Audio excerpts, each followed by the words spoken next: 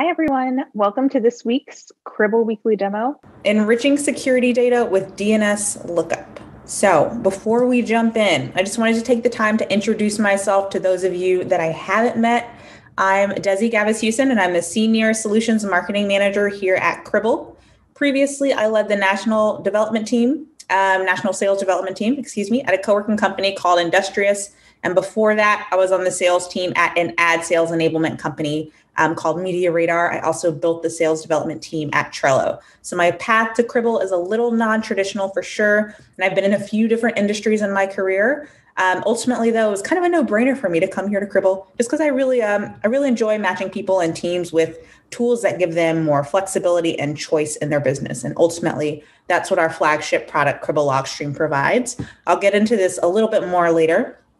But Cribl Logstream acts as you know a universal router um, and receiver of data. So whatever products you have in your stack, Logstream is going to enable you to be able to get that data wherever you need it to go. So great to meet you guys. Here's what to expect on today's call. Let's get into it. So almost every week we'll be doing a full demo of Cribl Logstream and walking through specific use cases in the product. Uh, so first I'll do a quick introduction to observability pipelines and Logstream for those of you who may not be as familiar with us um, with that concept or what we do. From there, we'll move into a full demo of Logstream. So we'll talk through the specific use case for that week. Obviously, this week, that's going to be how to enrich um, your data using our DNS lookup function. Um, then you'll have the opportunity to ask any questions that you have regarding Cribl, uh, about Logstream or anything you've heard or seen here today. So, uh, just a quick note here for those of you that have seen Logstream before, work with it every day, or just super familiar with the tool, you'll likely find that the first half of this call covers concepts you already know. Uh, we'll get into the specific use case at about 1:40 Eastern time, so about 40 minutes from now. Feel free to go grab lunch or five coffees and come back and join us for that part of the webinar. Um, and I am going to turn my video on now as well. So global data is growing at a 25% compounded annual growth rate. And I think everyone in the world understands this to a degree. If you take uh, being in a global pandemic, for example, right now more than ever, organizations are making a massive transition to remote work um, and companies are having to provide new equipment uh, maybe even new infrastructure in some cases, as well as use new programs and applications so that their employees can work from home at the same level uh, or a higher level of productivity than they were before. Um, new programs and applications means more data sources and more data. So even if you think about it from a non-technical perspective, it's pretty easy to see uh, data is growing astronomically. And by 2025, enterprises are going to be managing 250% more data than they were just last year in 2020. So the amount is growing. Uh, but there's another problem. Logging systems are already at capacity. I hear from enterprises daily with costs in the millions when it comes to licensing, and the infrastructure required to store this growing set of data can cost as much or more than commercial licensing costs. More data also means you need more CPU dedicated to analyzing it. Uh, and for many customers, so the added infrastructure costs can be in the tens of millions of dollars. Um, on top of all that, you get inadequate data retention in some organizations. When your logging system is reaching its limits, many people believe they have no choice when it comes to dropping data that they ultimately like to keep around. So, to get the answers you need out of your environment, you have to onboard new sources of data. There's just no way around that fact. Uh, most companies drop large portions of high volume sources because it's just too difficult and costly to analyze everything. Uh, you may have retention policies in place to meet certain standards and regulations, but you're having to play some guessing games, right? How long can I afford to keep a wider set of data around? You might even need to revisit that data later, especially if you're investigating a security breach, right? Or you're trying to understand long term trends in your IT environment. And for some use cases, they may need to keep data on hand for years, and that data needs to be ready for analysis that entire time. Lastly, Systems are optimized to handle data analysis and retention separately. So, what that means is you often end up using many different tools to retain and analyze all of your machine data. And adding each one of those tools also adds complexity and hidden costs. So, like I mentioned before, uh, environments are getting super complex, right? You have your object storage, your time series databases, your data lake houses. Each of those is going to have their own agents and their own ingestion pipelines. It's really tough to manage it all, and it forces enterprises to make some hard choices about which data to send to where. And with choices come trade offs. Uh, you end up playing kind of this three way tug of war, right? With cost, flexibility, and visibility. I mean, the more data you analyze, the longer you retain it, right? The more it costs you. Standardizing on a single tool that's going to limit your flexibility um, and maybe even limit, you know, which teams within your organization you can work with, especially if you guys are using different tools. And dropping data to keep costs down could limit what you can learn or investigate over time. And it's really hard to investigate a security breach that happened six years ago if you don't even have that data there to go back and analyze. So, how do you do it, right? How do you manage the trade offs of analyzing everything you need to get insights from your machine data, formatted for all the tools that you use uh, without busting your budget? Well, an observability pipeline solves all of these problems, and our product, Cribl Logstream, helps teams implement such a pipeline without replacing any existing tooling. Cribl Logstream enables customers to choose what data they want to keep in what format and in what data store, all while providing the assurance that they can also choose to delay any or all of those decisions with a full fidelity copy in low cost storage. Cribl Logstream is going to provide you with a vendor agnostic solution to route data to and from any tooling source or destination. Um, so I mentioned, you know, trying to standardize on a single tool before, right? Truth be told, in organizations, a lot of them anyway, um, you have different teams using different tools. Um, Logstream is going to enable you to route data from team to team, from tool to tool, without any any trouble whatsoever. Um, regardless of which tools are in use, again to kind of harp on that point, Logstream can centralize the forwarding of all machine data, get it to the right destination, and ensure it's shaped enriched with whatever information you need and ready for analysis or simply on standby for when it might be needed in the future. And then lastly, Cribl Logstream significantly decreases an organization's logging and monitoring costs. Uh, we see our customers get about 30% of infrastructure costs that they save on average. Um, I've seen customers get a lot more than that. 30% is just the average that we see. So one question that might be co- uh, popping up for you is, you know, isn't this just Kafka? Like, Desi, doesn't data streaming already exist? Yes, it already exists. And the data streaming solutions that do exist, there's not purpose built for polystructured data. Um, on the other hand, an observability pipeline like Cribl Logstream, it's purpose built to work with even the most complicated data formats.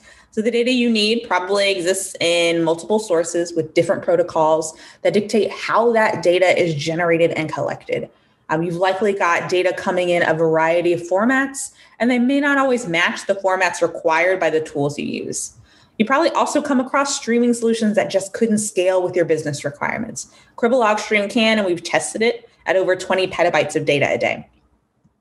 So if you remember nothing else that I've said today, please remember this. Cribl Logstream is an observability pipeline to route security and machine data where it has the most value. Uh, we help slash costs, improve performance, and get the right data where it's needed in the formats required. With Cribl Logstream, you can reshape, reduce, or route data so that you remain compliant and get the insights you need in the most cost effective way possible. So next, I want you to see the product. Uh, my colleague David Maislin from our solutions engineering team has graciously recorded a full walkthrough of some of the key cases of Logstream. So let's take a look at that now. Hello, I'm David Maislin. I work for Cribl. I'm a principal solutions engineer, and today we're going to be giving you a brief talk of our product features, discuss the distributed deployment architecture, and cover some basic concepts and show a live demo of Cribl Logstream. So first off, what is Cribl Logstream?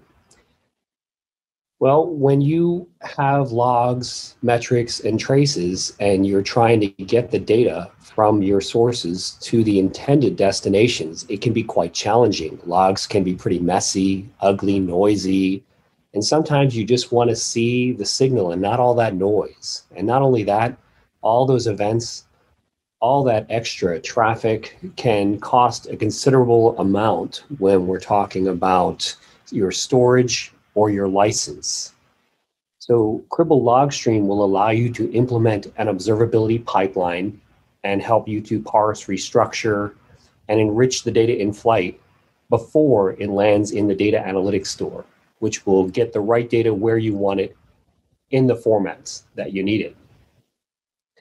So first off, when we talk about routing data, sometimes data doesn't always land in one place. Uh, you want it to land in many places. For example, uh, some of your data could land in Splunk, other data might land in Elastic, but all of your data, just to keep it for future reference, uh, security investigations might need to land in S3. So we allow you to route your data to the best tool for the job, or all the tools. We allow you to translate it, reformat, enrich it into any schema that you require because different departments have different needs for analytics. So you can put the data where it has the most value. Secondly, as I mentioned earlier, data can be quite large, noisy.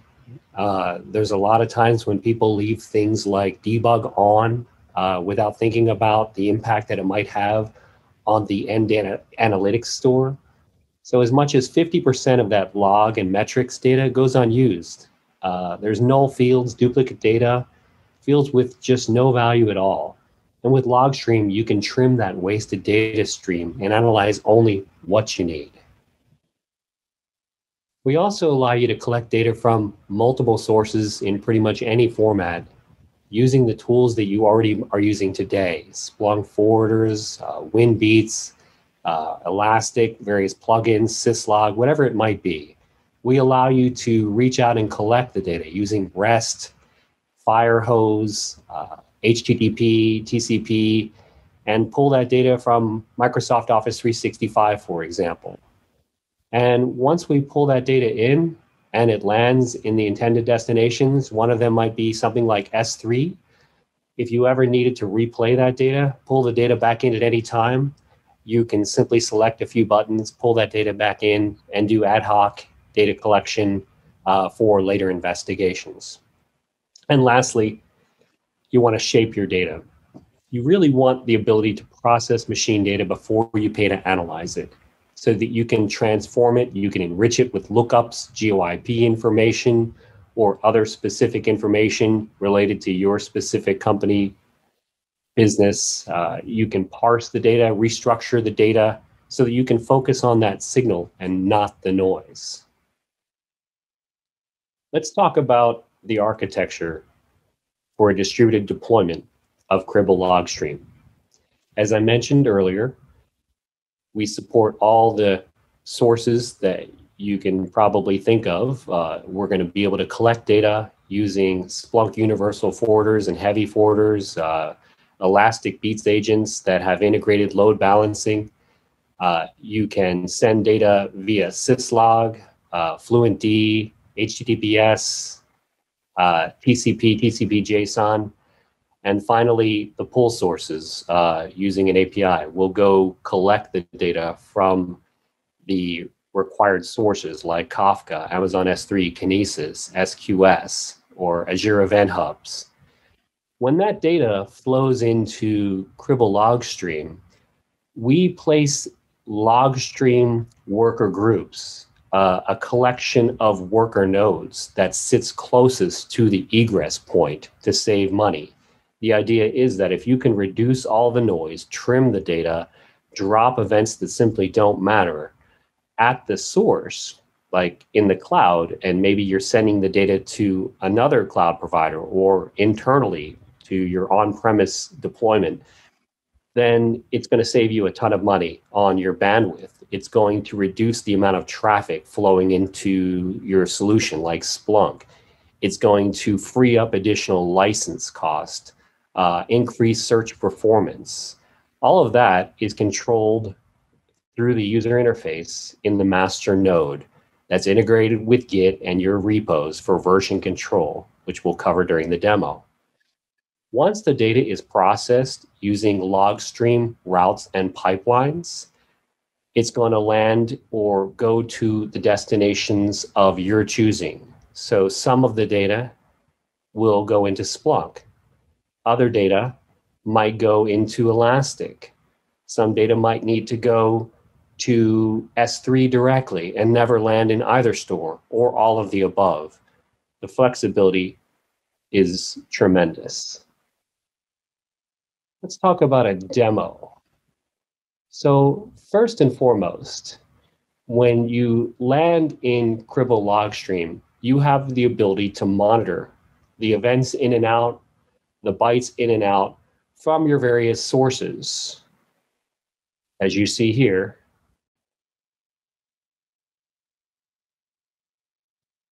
and you can see the status of the sources that were healthy, were collecting the data, and the destinations. In this case, we can see that one of the destinations is having some challenges. Cribl Logstream in the worker nodes can do persistent queuing and other behaviors, such as rejecting events or dropping events, depending upon the intended or required behavior that you choose. In this case, we could set it up such that any data that can't get to the destination can simply queue up in a persistent queue across the logstream worker nodes until the destination is back up. Maybe you're doing a maintenance on the Splunk infrastructure on the indexers. Maybe it was a network issue. Maybe it was a restart of the indexers, uh, something like that. Uh, you won't worry about losing any of your data. If there's any challenges, all of the data will be retained with full fidelity. And again, you could also send it to multiple destinations, such as S3. Let's review some sources inside of a worker group. And again, a worker group in this case we're going to call it logs. This could be AWS, this could be Azure, this could be uh, on premise, whatever you decide to call your worker group. We're going to go into this worker group. Now, the first thing you see is you are in the routes. And before we discuss what the routes are, let's talk about the sources. So here you see various sources that you can configure to receive data. Uh, so if, for example, we wanted to receive data from syslog, you select syslog and you can add your various IPs. We'll receive data on any port over UDP or TCP. We support TLS, syslog over TLS out of the box. Another source could be Splunk, whether that's the HTTP event collector or Splunk TCP. We act just like a heavy forwarding tier or an indexer in that we will receive the data. We're not going to store the data for analytics, but we're going to process the data just like Splunk. So you simply add a new source, configure the IP, the port, and you can even whitelist various IPs. Uh, configure the line breaking, event breaking, add additional fields, and do any additional pre-processing before the data enters the routes and the pipelines. Let's take a look at the routes.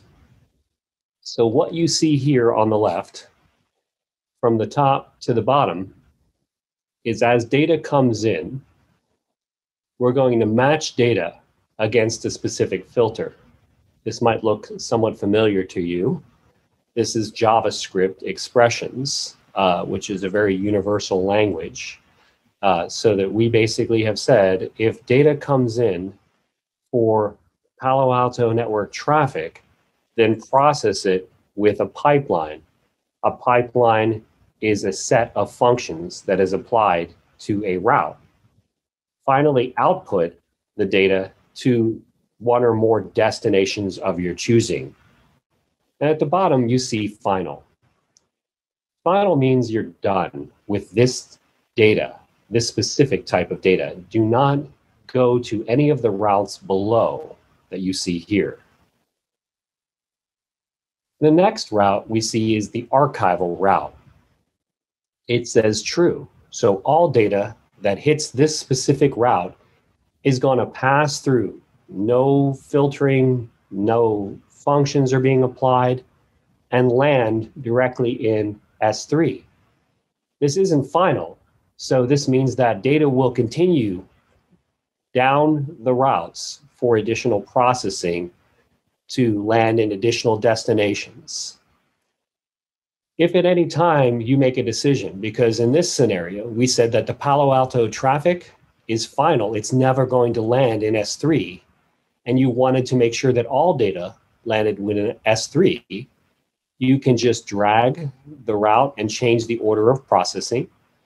And now what we are saying is all data that passes in through these routes is going to go and land in S3, including the Palo Alto data.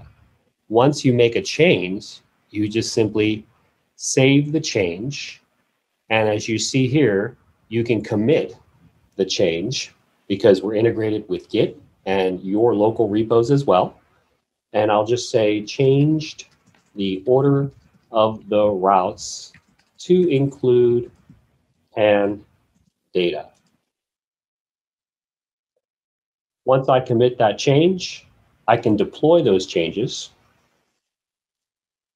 And once I do that, the workers are going to be checking in every 10 seconds. And in this case, the logs worker group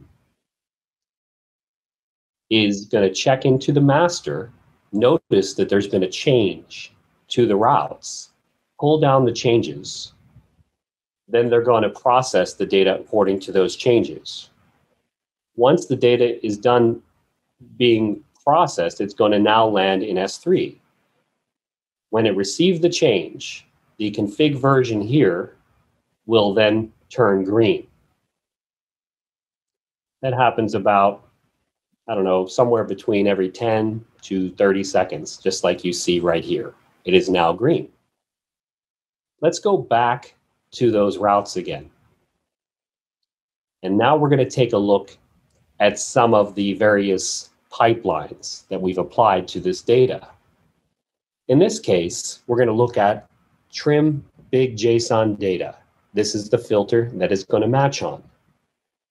We're going to enter the pipeline from the route. And here we see we are now in pipelines. We have a comment. Comments allow you to document everything that's happening within a route or a pipeline. And in this case, we're going to capture some data right now live from the various workers in the log worker group. When we capture data, you can see that the filter expression carried over when we enter the pipeline from the route. And it's going to allow me to capture the data from the various worker nodes adjusting the time frame that I capture, as well as adjusting how many events I want to capture and where I capture those events. As they enter the system at step one before processing, as they enter the various routes and processing pipelines, and as they exit for various post processing, and finally, as you see here, on the way to the destination.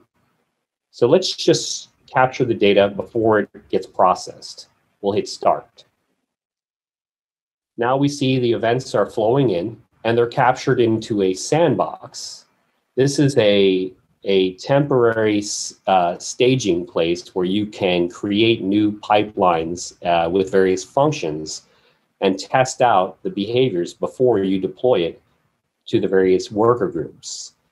If I don't do anything and I just stop my capture now, it's going to expire this captured sample after whatever time frame you set. If I were to rename this, something like that, now this will no longer expire until I choose to delete it. It's helpful for keeping a template of the various events that you're processing through Cribl Logstream. Let's save this as a sample file. Once I hit save, we now see here on the right that we have data. These are very large JSON events. We can recognize the format of structured data so that if I select expand, I can now see the JSON object. And the one thing to note is what we talked about in the comment earlier is we need to remove multi-header and null fields from the raw event.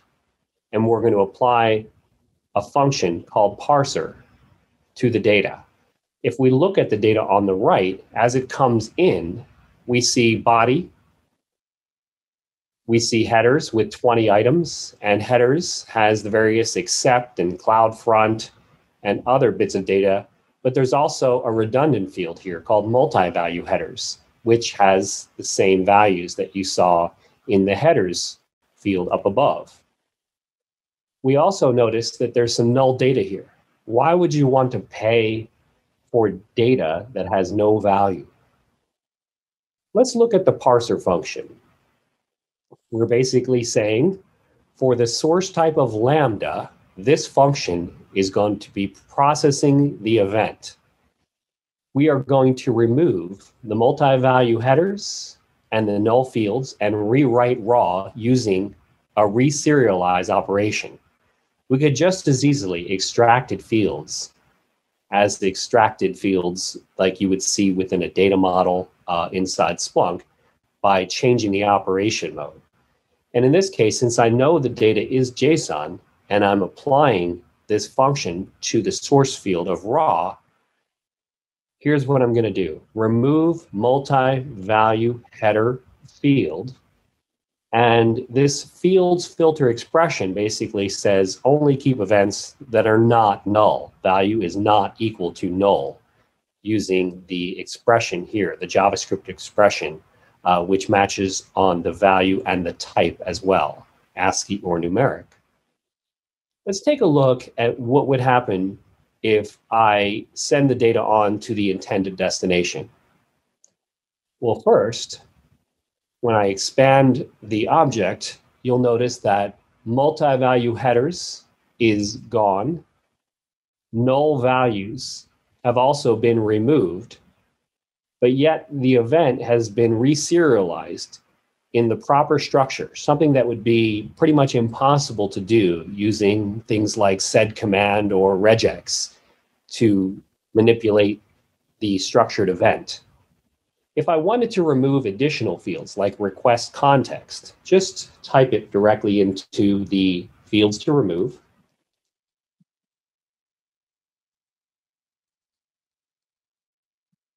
hit enter, and hit save. Now, again, this is not being applied to the worker groups until I commit and deploy the changes. And if I made a mistake, I can roll back to prior, prior releases of the changes uh, with the click of a button. Once I added this new field, let's take a look at the savings. So now almost 65% of the event size is gone. It's been reduced, but we've not lost any of the value of the data. The full fidelity still exists, not only because we've removed redundant fields and no value fields like null, but also because all of the data is also landing in S3 in case you perhaps needed to see the original event before you reduce the event. If in the future, once you deploy this change to your event, your manager says, you know what, we actually need this field. So please uh, add it back into the data. You select it, remove it, hit save. And what you'll notice is now request context is now included in the event, sending on to your destination like Splunk. If I take a look at the changes now, it still shows that we're removing about 45% of the event, a tremendous reduction in license. Uh, because you've also removed redundant data and null value fields, it means less data is going to land on your indexing tier and that means your searches are going to be much faster. Further, because all of the data is landing in S3, you don't have to retain the data for as long because it's not very often that you're asked to run a search from three months ago and display the results. We're looking at the here and the now. Other reasons are because the data is in S3 untouched, you might want to replay the data in the future.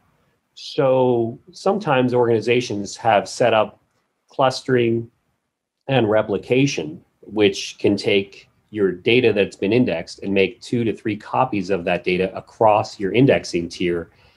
That can cause additional performance issues. Well, now that you have the data in multiple places and can replay the data at any time, you could make a dis- decision to reduce the amount of retention, saving infrastructure costs and storage costs, because you have less data in the environment because you're no longer needing to cluster or replicate the data, that's going to increase your overall performance. And finally, the reduced events, that's going to save your organization a tremendous amount of license that now has been opened up for other data use cases, which would allow you to pull in additional data. So that's a review of a single function in Cribl log stream. We see trim big JSON. Let's review something a little more complex and more powerful. We'll take a look at Palo Alto firewall traffic. So I've entered the Palo Alto traffic from the route, and I'm in the GeoIP enriched pipeline that we see right here. This pipeline is a collection of many functions that exist within Logstream. These functions include things like the ability to aggregate data as metrics, uh, perhaps, again, adding comments, dropping data, sampling and dynamic sampling, suppression, keep one out of every 100 events that are from trusted zones, for example regular expression extraction. I'm sure many of you are used to that. Uh, updating your props and your transforms uh, can be difficult, and sometimes you can make mistakes. We allow you to parse data out of the box, and all of this is done through the user interface. There's no need anymore to update things within config files and have to deploy them out to the indexing tier uh, and wait for indexer rolling restarts, for example. Let's review this pipeline. So again, we're commenting. What I'm saying when I enter this pipeline is if somebody accidentally said send the data to this pipeline and it's not matching the source type of pan traffic, you're final, you're done. Don't process that data. Leave this route because we're not going to accept that data that doesn't have that source type. The next function is parser. And as you see here, it says on all data that was allowed to enter this pipeline, its filter is true. So all data that comes into this pipeline, I'm going to extract all the events from that, all all of the field names from that event. Let's take a look. Here is data as it comes in. It's in the syslog protocol. We can see that here because of the facility and the log level exists right here. Uh, we can expand that. We see the common delimited event. This is what the data looks like as it leaves this pipeline. All of the fields have been extracted as well as enriched, which we'll cover in a moment. Uh, this is, in a sense, a pre-built data model. These extracted fields will land in Splunk, and you will be able to search for them uh, using T-stats. It's basically building your data model before you have to do it inside of Splunk, which can affect the performance of your indexing tier. You no longer have to run data model acceleration every five to 15 minutes. And again, it's a tremendous improvement in the performance in your environment. The fields here that you see within this parser function, I just simply copy these and pasted them from Palo Alto's documentation on what represents a Palo Alto traffic event. If at any time you didn't want to pull specific fields, you can remove them. You can decide which fields to keep, which overrides which fields are removed. And again, like you saw earlier, you could decide to not index any null value or events that just simply don't matter, like placeholder events, for example, future use. Let's minimize this. And one of the things that you'll notice is I created a group so that way I can easily understand what is happening within my pipeline. The first group is extraction and reduction, and I have other groups below here. In the extraction and reduction, I also have a drop function where if a log subtype equals start, the event will just simply get dropped. It could be if you have debug logs coming and you choose to drop them because you don't want to fill up your indexing tier with debug at at any given time because nobody told you that they were going to turn it on and perhaps they accidentally left on debug and it's going to uh, have a dramatic impact on your indexing tier. Other things that you could choose to do would be like sampling. If i'm getting bytes in is equal to zero maybe keep one out of every five events that's what we see here. If I'm getting data in from the firewall from trusted zones, internal networks, uh, maybe keep only one out of every 10 events, which would again be about a 90% reduction of your traffic that normally gets indexed but never searched. Nobody looks for it. And this is on or off. I could turn this on with the simple toggle of the switch right here. Let's move into enrichment. In this case, uh, we've again commented, we're going to do GeoIP lookups against MaxMind for the source IP and the dest IP. And we are going to output a result field, source underscore GeoIP and dest underscore GeoIP. And we see that right over here on the right. We see the city, the continent, the country, the locations, the postal code, subdivisions, and things like that. That was done on an event by event basis, pulling in the data, enriching it at search time, because IP blocks change. And in six months from now, in a product like Splunk, if you were to do a search lookup against an external IP, the location, according to MaxMind, could change. And so it might be best for you to add the enriched information at index time for the purposes of a security investigation. Maybe a year from now, you needed to replay that data from S3. Having the comfort knowing that this information was enriched before it went to S3 and landed with that data means that your security team will have accurate information when they recover that data. We, of course, support other things like lookup tables, uh, reverse DNS, it'll take an IP and match it to the DNS host names, as well as maybe internal CIDR notation, where I'm saying if the IP address comes in and it's internal, do a lookup against this lookup table and return the CIDR output.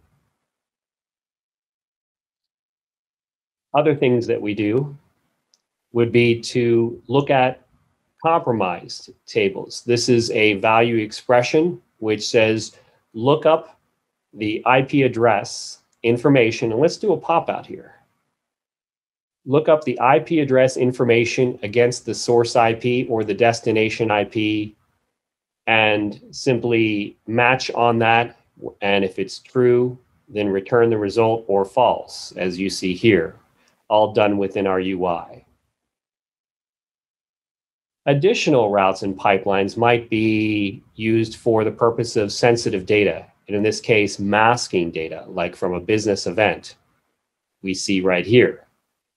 So for business events, uh, maybe you're looking at this data sample right here, and you say, what is the effect of this function to look for social security numbers, credit cards with Luhn algorithms, things like that, we have built-in expression matching that you see right here. We said, go look for a social security number pattern and mask it using an MD5 hash. This is what it looks like as the event comes in. And this is the masked event as the event leaves the system to the intended destination. We do the same for regular expression.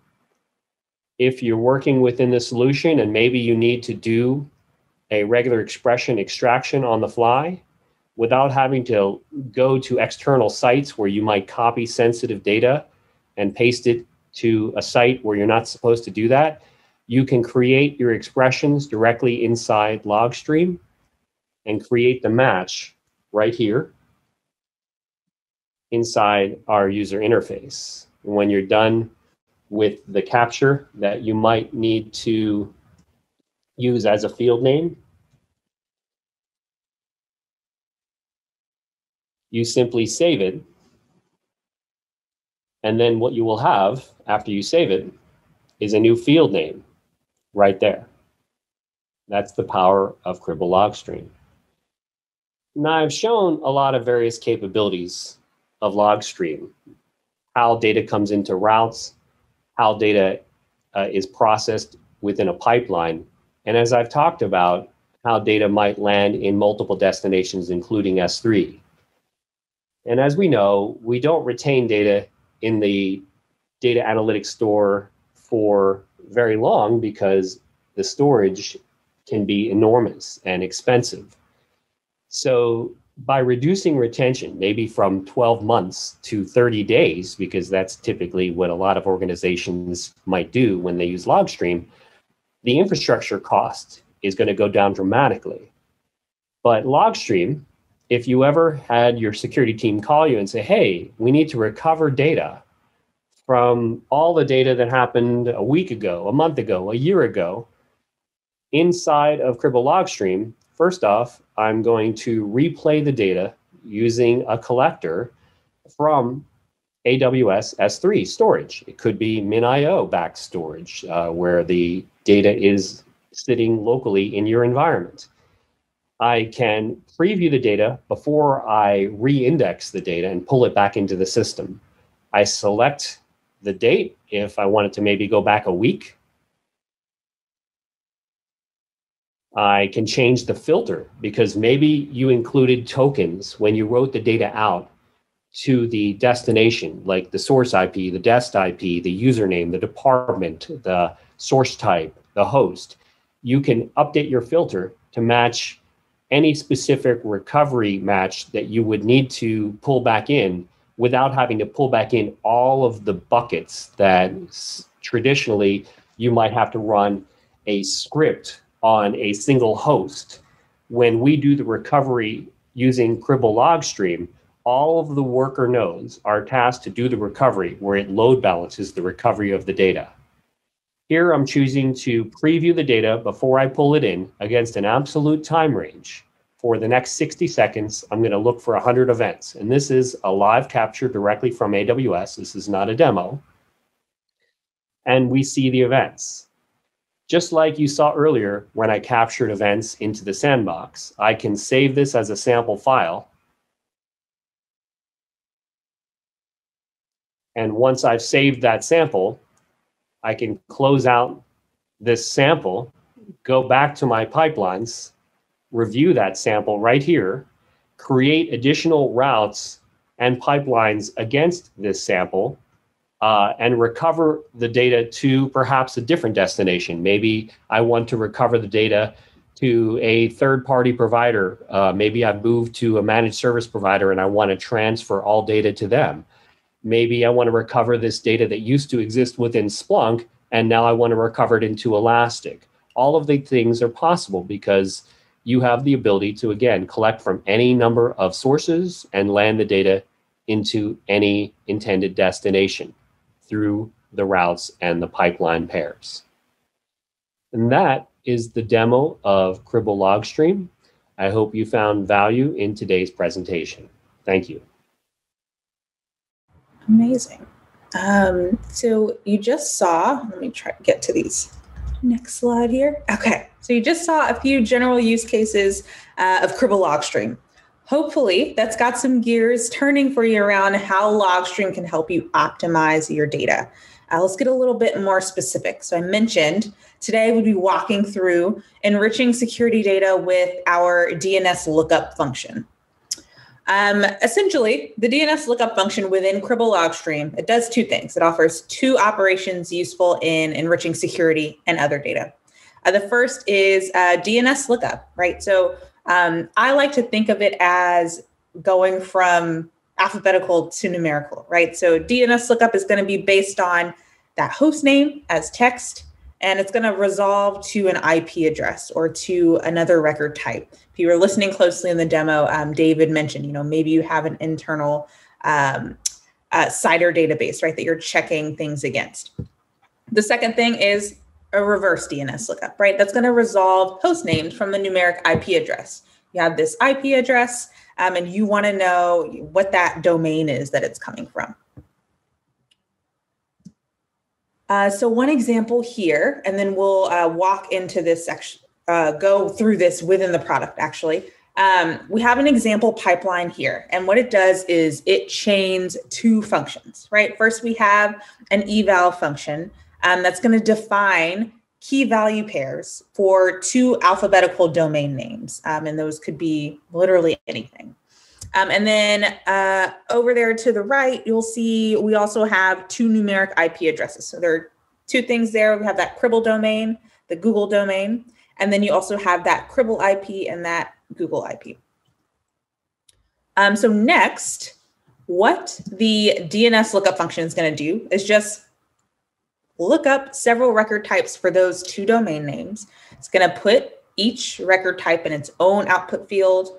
Um, so if we look at Cribl domain as an example here, um, and I'm looking at the fourth one down, we can see that it's checking against a text file, some sort of text resource record source type, um, and putting it in its own aptly named output field name called lookup Cribl domain txt. Um, finally, we get that same reverse DNS, um, the same functions reverse DNS lookup is going to retrieve domain names for the two IP addresses. So we had those numeric IP addresses. Um, it's going to look them up against the, the record um, and return that this is uh, you know, a Cribl IP and a Google IP. Um, so next up, uh, my colleague Matthew Pike, also from our solutions engineering team, um, actually did a recording of walking through this within the product using another example. Um, so I will go ahead and play that for you guys now as well. Hello, this is Matthew Pike, a solutions engineer here at Cribl. When responding to a security incident, it's important that your data doesn't hinder your own investigation. Uh, sure, you can do some search time enrichments, for instance, adding geographical details. Well, this can be helpful. The geographical information relating to an IP address may have changed since the data was ingested. This can lead you down a path of chasing stale information, which just wastes your time. By enriching your data at ingest time with a blacklist lookup, a reverse DNS uh, record, uh, geographical statistics, you get the results you need at search time that are accurate to when the event happened and it was captured at ingest. Logstream makes this trivial. Uh, today, I'd like to show you how easy it is to start collecting this data now so it's there when you need it tomorrow. We'll be taking in some Palo Alto firewall traffic, parsing underscore raw into event fields, and then doing GeoIP, DNS, compromised host, and subnet identification lookups. And then adding index time fields to make querying as fast as possible when it gets into Splunk. So let's take a look. All right.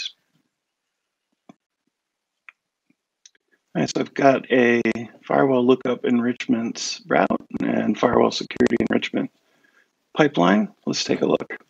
So right now I have everything turned off in the pipeline so we can enable it one at a time to see the impacts. And I've got some previously sampled data here. All right. So I like to start every pipeline with a comment that explains uh, what the pipeline is for, who made it, if there was a sample uh, that was used to build it, what that sample name is. I also like to comment kind of each section of a pipeline, if I can, functionally. So for the initial parser here, I'm able to just do one comment for that, and it's a single function. So we'll turn this on and see how it looks. So what this is going to do is parse underscore raw uh, using an extract. In this case, it's uh, underscore raw is a, is a comma separated valued fields. So I'm going to pull out all the fields, but I'm only going to keep the fields that I'm interested in, uh, which are source and destination IP address and message for right now.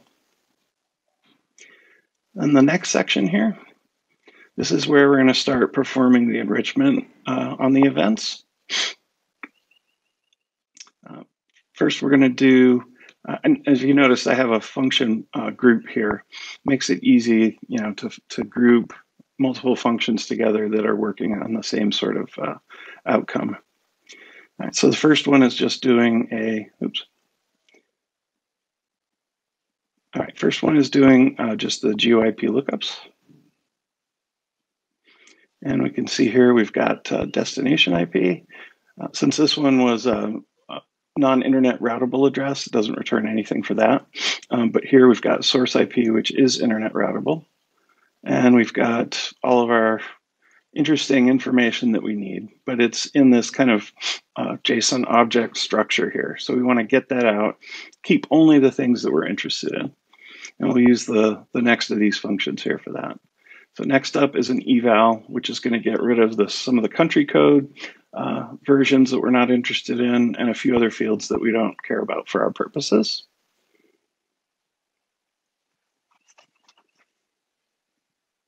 All right. Now we can see that this has kind of been narrowed down quite a bit.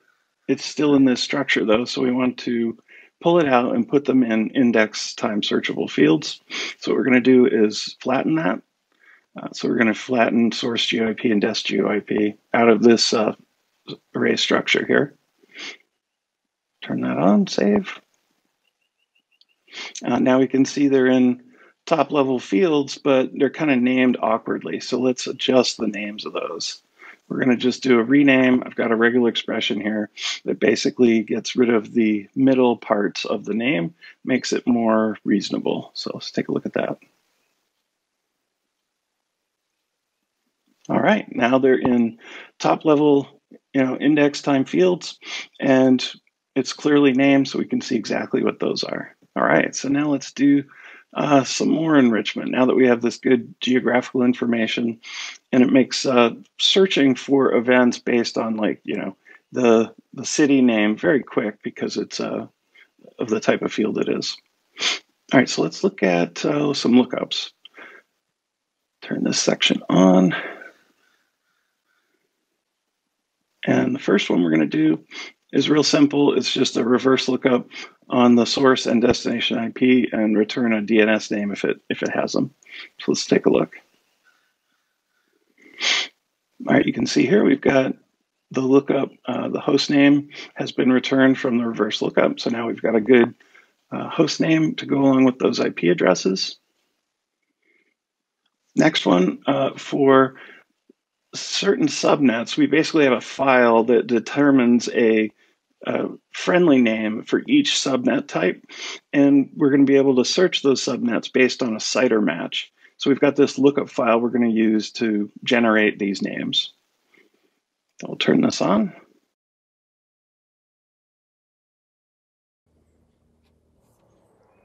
I also want to turn on the next one, which is doing the same thing, but for the destination IP. The first one was for the source IP. So we'll click Save.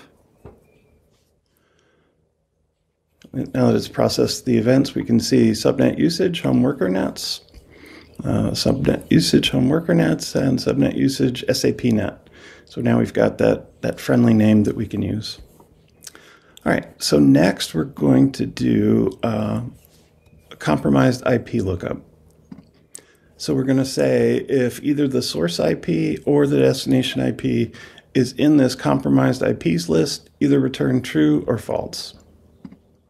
So we'll go ahead and turn this guy on.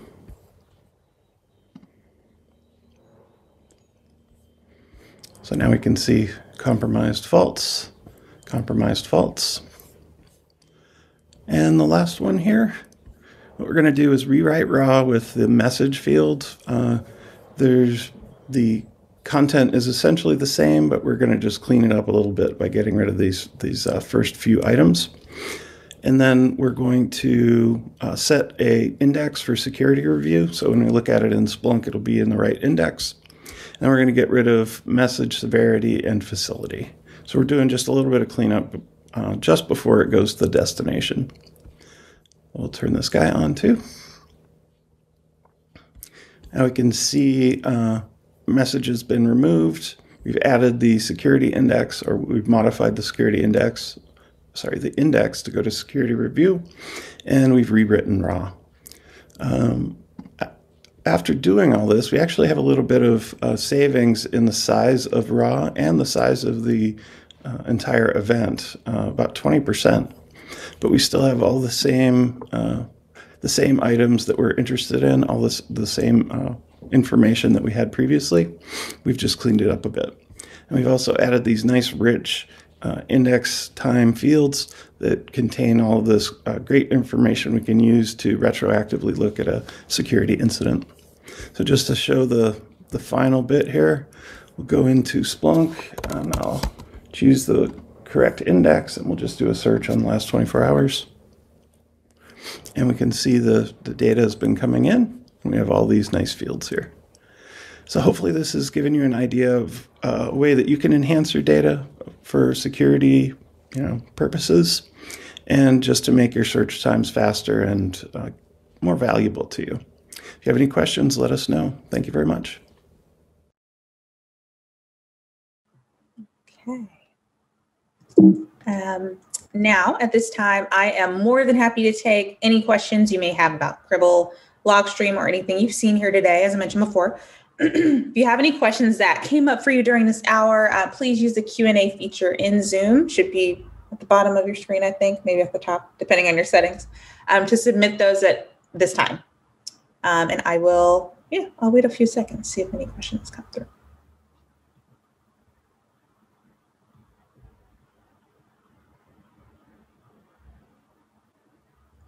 Just as um as we're waiting here, um, if you are interested in seeing more ways that Cribl Logstream could be used um, to help you either as you're going through a security investigation or just if you're a security engineer and just uh, ways that Cribl Logstream can help you in your day to day, I would highly recommend um, checking out our resources page. If you go to Cribl io slash resources. Um, there are a lot more resources like this one, uh, blogs, white papers, um, other webinars, um, smaller, shorter briefs, right? Um, that just walk through different ways that Logstream could help make your day-to-day easier.